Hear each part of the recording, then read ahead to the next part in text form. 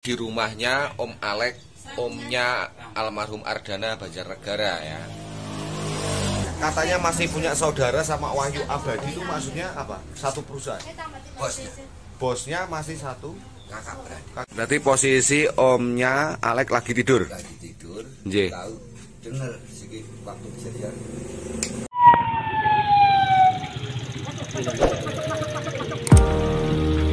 We were worlds apart. Found me on my own, too tired to stand. Thought I lost my heart, that it turned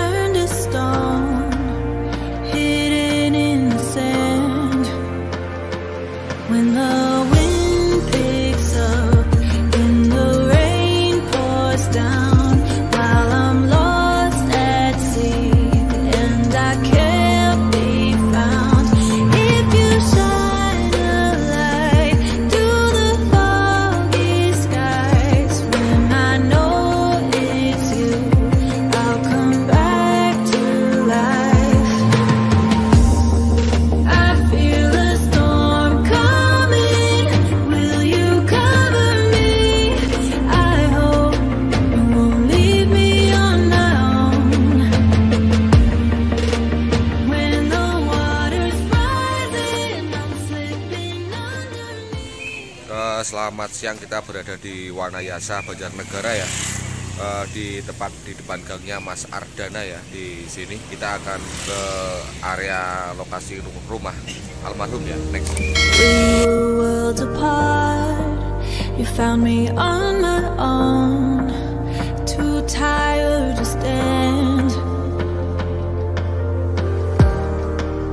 Thought I lost my heart,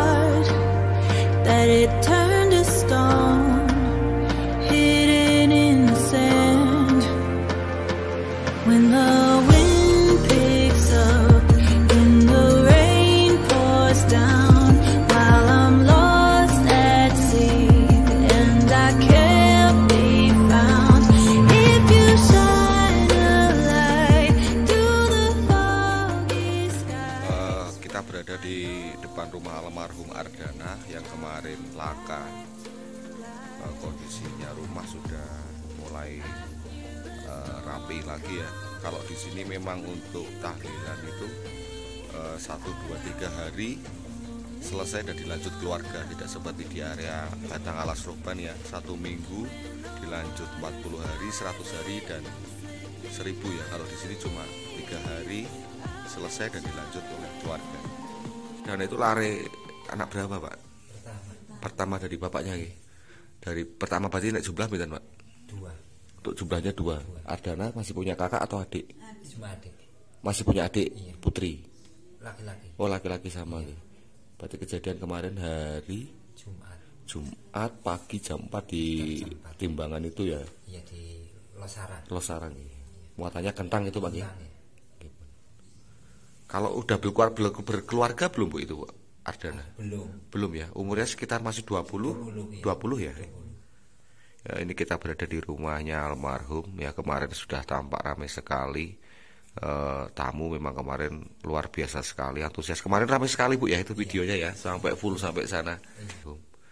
Ini kita dari Batang Alas Roban ikut bela sungkawa mewakili rekan-rekan STFC di sini. Ya ini depan eh, keluarga sama beliau bapaknya sama ibunya ya, Simbah ya ini Simbah ibunya di dalam Too tired to stand. Thought I lost my heart, that it turned to stone, hidden in the sand. When the wind picks up. Ini kita berada di rumahnya Om Alek, tapi tadi papasan lewat gang itu, lewat gang kecil ini. Nanti kita akan kembali lagi ke rumah almarhum ya. Ini rumahnya Om Alek, posisinya di sini sebelah jalan ah, tulisan Kali Bening Pekalongan Banjarnegara. Aku tak pamit dulu pun ya. Iya. Lagi di rumahnya Om Alek, omnya almarhum Ardana Banjarnegara ya. Eh, terus untuk yang katanya masih punya saudara sama Wahyu Abadi itu maksudnya apa? Satu perusahaan. Bosnya Bosnya masih satu kakak beradik kakak beradik, tapi Wahyu Abadi punya yang sini ya, punya yang banyak. satu PT itu kan Wahyu Abadi sama kakak. Wahyu Satu PT. Abadi kota sini. iya Kotanya- Sepatur Oh iya. Sentul. Berarti Batur itu ada berapa armada itu? Tujuh. Berarti tujuh armada tapi Wahyu Abadi yang sama Karunia Batur ya, Batur ya, Karunia Putra ya. satu PT Satu PT. Berarti posisi omnya Alek lagi tidur. lagi tidur Nggih. Langsung bunyi der dia saya lihat udah rata depannya. Tapi posisi Om Alex masih di dalam kabin. masih di dalam saya tiba-tiba bisa keluar entah itu tanpa bantuan siapa pun Tapi masih sadar Om Alex ya. Tam- sadar sampai sekarang Oh, berarti masih ada yang bantu ke la- al- apa, Laporan bantuan- sendiri ya? laporan ke polisi Ah. dua kali saya sendiri itu dalam waktu habis kecelakaan terus diturun itu kayaknya nggak ada satu jam itu Om Alek ya langsung cepet ya Om Iya. Alek Kapolseknya itu berapa menit sekitar 15-20an itu ya, cepet ya langsung itu turun saya minta bantuan sama orang nggak ada Nggih. saya langsung ke polsek Hmm. di situ belum ada orang Nggih. terus kedua kalinya udah ada orang terus Iya, saya langsung. lagi Nggih.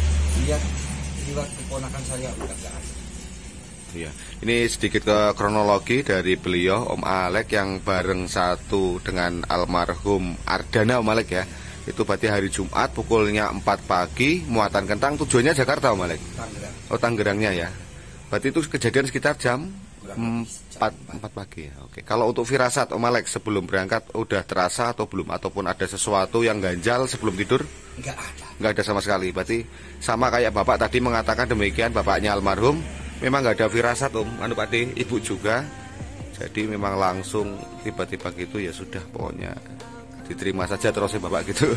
Ah, demikian untuk klarifikasi dari Om Alek, omnya sendiri, berarti adiknya bapaknya almarhum Ardana yang berada di Wanayasa, ah, Banjarnegara, Jawa Tengah.